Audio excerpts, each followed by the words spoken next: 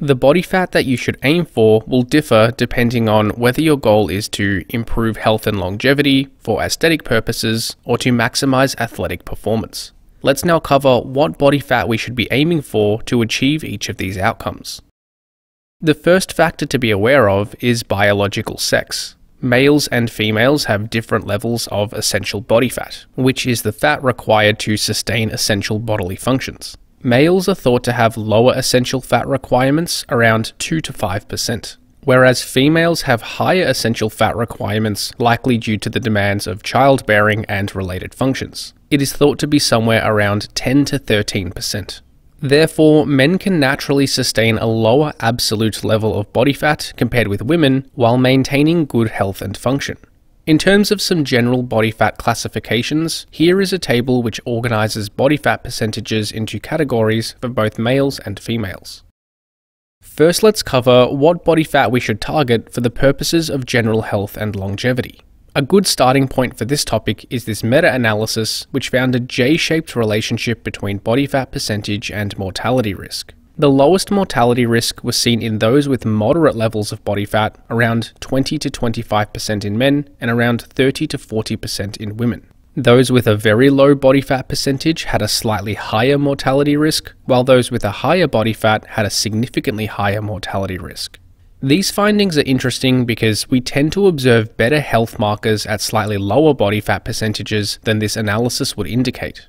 Higher body fat generally seems to increase our risk of various metabolic and cardiovascular conditions. For example, this paper found that in a sample of around 17,000 adults, there were no cases of metabolic syndrome in those with a body fat percentage of less than 18% in men and 30% in women. And with body fat percentages higher than this, there was clearly a higher prevalence. Furthermore, having too little body fat also seems to be unfavorable for health outcomes. This can include muscle atrophy, decreased bone density, nutrient deficiencies, compromised immune function, and inhibited reproductive functions. For example, this study followed a male bodybuilder going through a contest preparation reaching an extreme level of leanness of around 5% body fat. During their leanest state, many hormonal and biomarkers increased or reduced beyond the normal reference range. Furthermore, this systematic review reported that in female physique athletes dieting down to extreme levels of leanness for a competition, all four cases in the literature experienced some form of disruption to their regular menstrual cycle. So, overall, for health, low to moderate levels of body fat seem to be associated with the best health outcomes. Having too much body fat seems to be associated with negative health outcomes, and being extremely lean also seems to be unfavorable.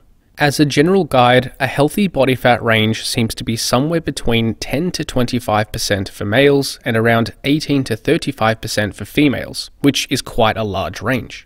It is certainly possible to be in a healthy state at levels a little above or below these ranges, but this is a general range that most people would be in good health at.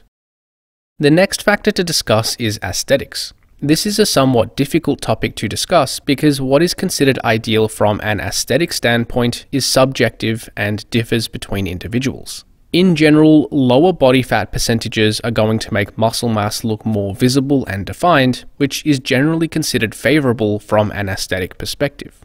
This previously mentioned systematic review found that female physique athletes reached an average body fat of 13.1%, with males reaching 5.8%, both of which can be considered extremely lean. However, this level of leanness is simply not realistic or healthy to maintain. Once we go beyond a certain point, it becomes very difficult to maintain such levels of leanness due to physiological pressures to gain fat. This is sometimes referred to as our lower intervention point. This term comes from the dual intervention theory as described in this study. This theory suggests that there is a range at which our biology prefers to exist at. Going above or below this range causes physiological pressures to either gain or lose fat. When body fat gets too low, appetite increases and energy expenditure decreases. And if body fat gets too high, appetite decreases and energy expenditure increases. So at some point, it will just be very difficult to sustain such a body fat without constant hunger, fatigue, and potentially negative health consequences. So, if we assume leaner is more desirable, but being too lean is not sustainable, then what body fat should we aim for from an aesthetic perspective?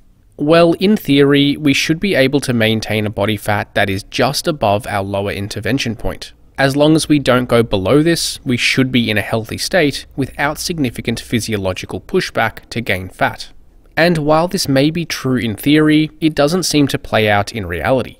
This is because our diet and exercise habits are largely influenced by our external environment rather than just our pure biological systems. So it is often very difficult to get to and maintain this level of leanness without intentional strategies to do so.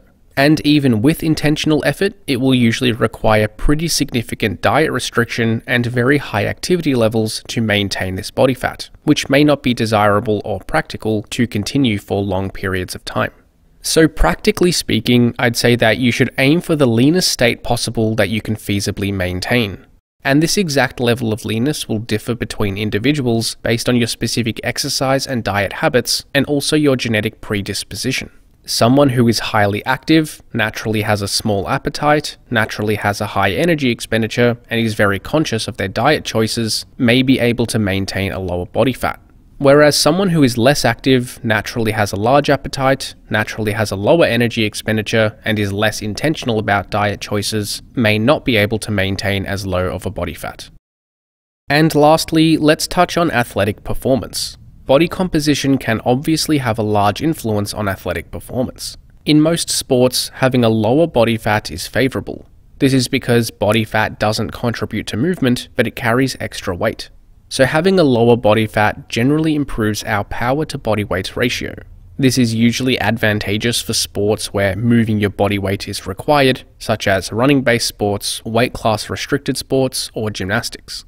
For example, this study found that NCAA Division 1 athletes in sports requiring some form of locomotion were all fairly lean. However, when the sport is more concerned with absolute force output, then having a higher body fat can sometimes help. Heavier athletes typically carry more absolute muscle mass, which contributes to force output. Also, simply being heavier may benefit athletes in some contact sports. For example, this may include throwing events in athletics, non weight class restricted strength sports like heavyweight powerlifting, or certain positions in high contact sports like rugby or American football. For example, this study found that the average body fat among a group of male professional and collegiate sumo wrestlers was about 26%, significantly higher than most high level athletes in different sports. Furthermore, athletes in different positions in the same sport may benefit from higher or lower body fat levels too. For example, this study found that Division 1 college American football athletes displayed significant body composition differences between positions. Offensive and defensive linemen had the highest body fat, while running backs, defensive backs, and wide receivers had the lowest. So it is difficult to say what body fat is ideal for athletic performance. Rather, this depends on the sport and the position in that sport. Although for most athletes, moderate to low levels of body fat seem to be best. Let's now summarize what we have discussed. The exact body fat we should aim for will differ depending on our goal. For general health and longevity, a body fat percentage of around 10 to 25% for males and around 18 to 35% for females seems to be where the best outcomes exist. For aesthetic purposes, this is dependent on what the individual prefers.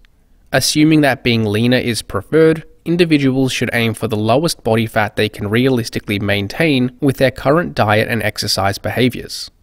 And for athletic performance, this also differs between each sport. In most cases, a low to moderate level of body fat is desirable, but there are sports where a higher body fat may be beneficial. Thanks for watching and hopefully you got something out of this video. Check out flowhighperformance.com for online coaching, training templates, ebooks and more.